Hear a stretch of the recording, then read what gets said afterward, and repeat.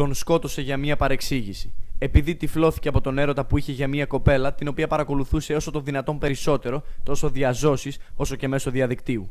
Μπήκε μέσα στην επιχείρησή του και το μαχαίρωσε, καθώς είχε αιμονή.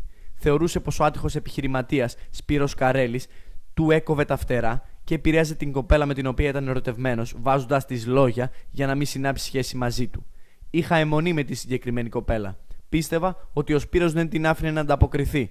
Θεωρούσα πως της έβαζε λόγια και γι' αυτό επιτέθηκα να τον χτυπήσω. Πήγα να λογαριαστούμε σαν άντρες, λέει στο απολογητικό του υπόμνημα ο Ανδρέας, ο δολοφόνο του άτυχου Σπύρου Καρέλη. Ο ίδιος παραδέχτηκε στους αστυνομικούς και στον ανακριτή πως ήταν αιμονικός και ότι θεωρούσε πως ο άτυχος επιχειρηματίας επηρέαζε τη ζωή του.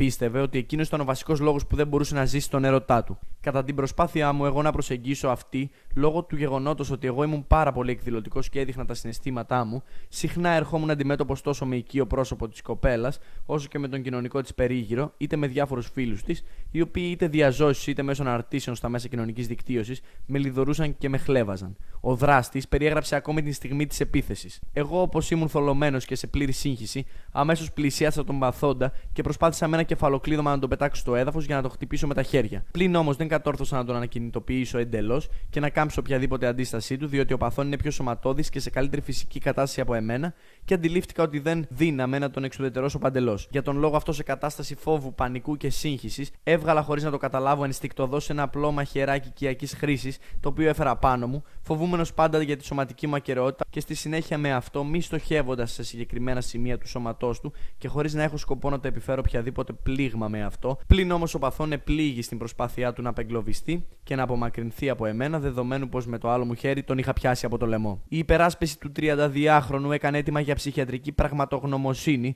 καθώς φέρεται να υποστήριξε πω αδυνατεί να ελέγξει τον εαυτό του εξαιτίας ενός τροχαίου που είχε πριν από 8 χρόνια.